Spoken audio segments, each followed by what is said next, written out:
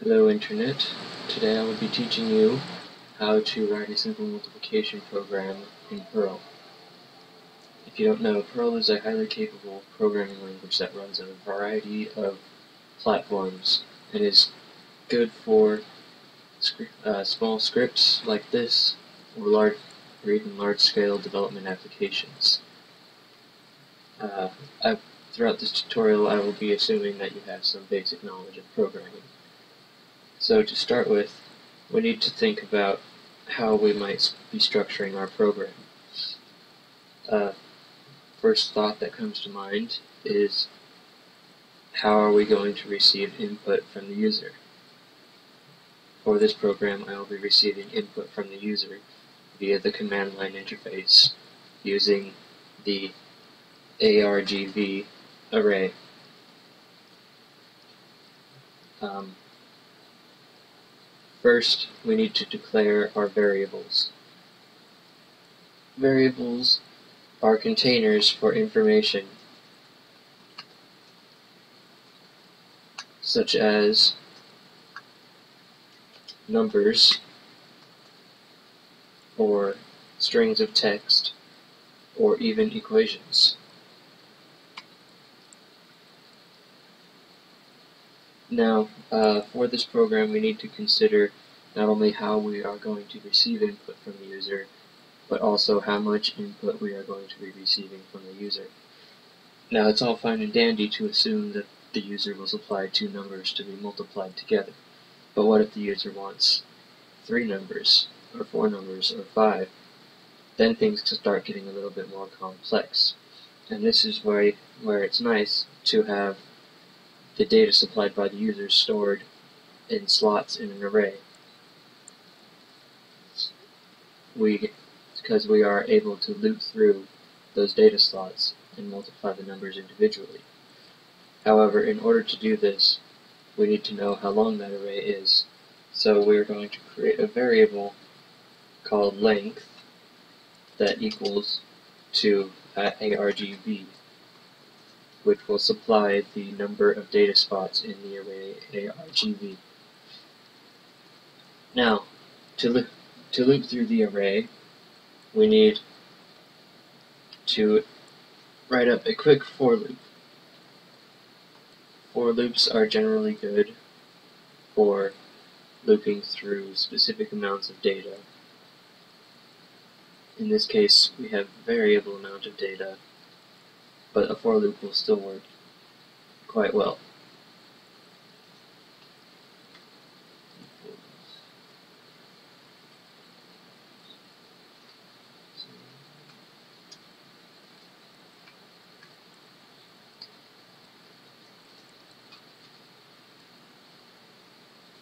So here, I'm going to tell the for, the for loop to loop the number of times uh, the number of times or to loop through however long the length variable is.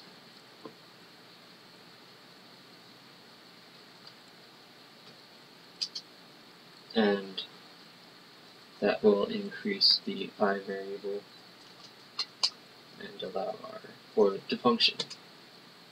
So, the contents of this for loop is fairly simple all we need to do is establish that our product, which is equal to 1, gets multiplied by the input uh, in the ARGV array at the data slot specified by i. So, to do this, we take our product variable and have it multiplied equals, which means it will be multiplied and increase the value of the product according to the number that comes in from the ARGV data slot I value. So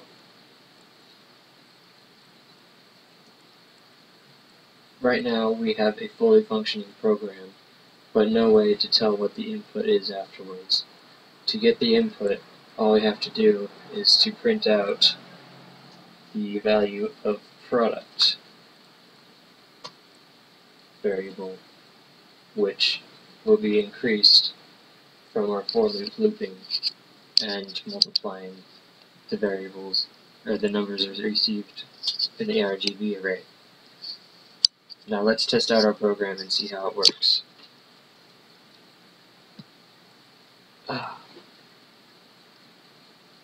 So, to test it out, we go to our command line and type multiply.pl and then we have some numbers that we want to multiply. I'll leave 2 there, and let's see what it spits out. 14. 7 times 2 is 14. Now let's try three numbers.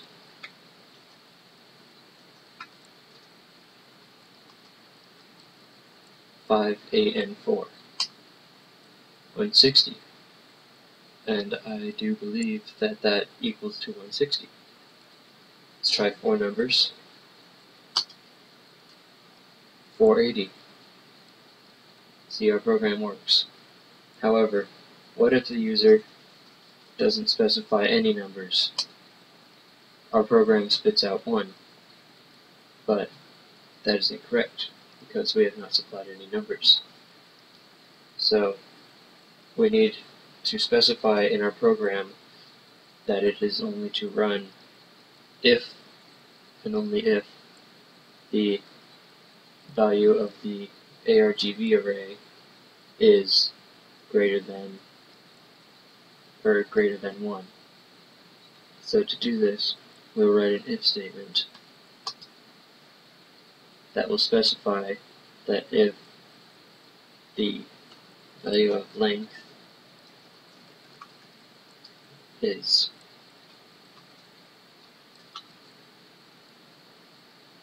less than 2 that the program is to die and say error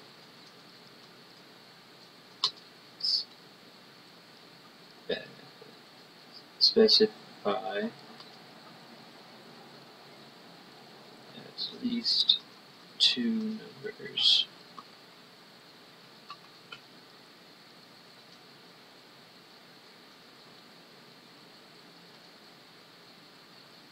Now let's try this out.